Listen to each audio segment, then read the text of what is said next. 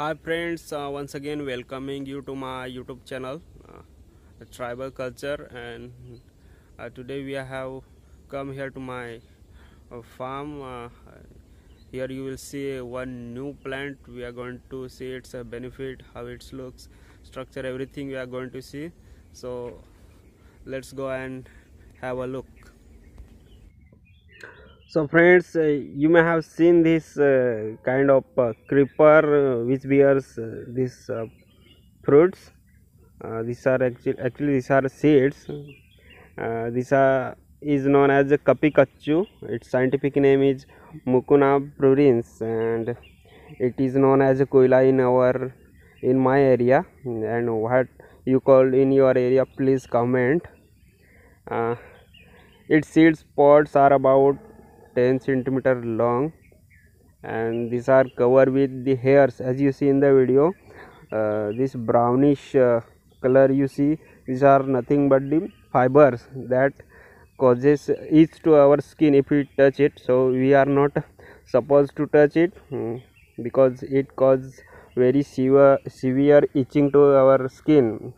Even if we take a bath twice or thrice still the itching will not stop so many times i have experienced as these are present in nearby to our area in large quantity.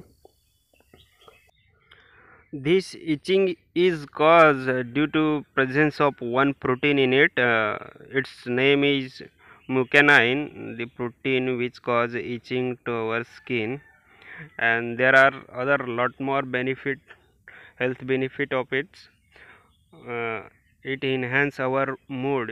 If we if someone is in the stress then the medicine uh, prepared from these mucuna seeds uh, can be used to hmm, enhance mood and stress. It increases testosterone hormone. Its sex hormone uh, can be leveled by this mm, by its uh, seeds. Again these seeds these mucuna pruriens seeds uh, increases dopamine level uh, due to the deficiency of dopamine parkinson disease is caused in our body. So this is why these uh, seeds are used for treating parkinson disease at as it increases dopamine level. Again another benefit of it is it lowers stress and solves reproductive problems so it is of a great importance these wild seeds but uh, we are not supposed to touch it from uh, we have to be very careful while handling these seeds because these uh, fibers present over it can cause very severe itch to you. And our local people uh, takes collects its seeds and uh, sell it to the market they get a price for it very good price for it. Uh, but they don't know actually why these are taken and what is actually prepared from these seeds. Um, traders uh, takes this uh, uh, and sell it to the pharmaceutical industries.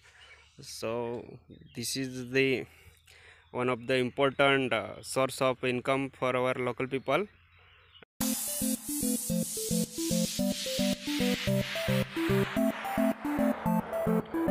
thank you very much. Uh, we'll see you in the next video uh, with the new plant. And if you are new to the channel please make it subscribe. And if you like the video please uh, share it with your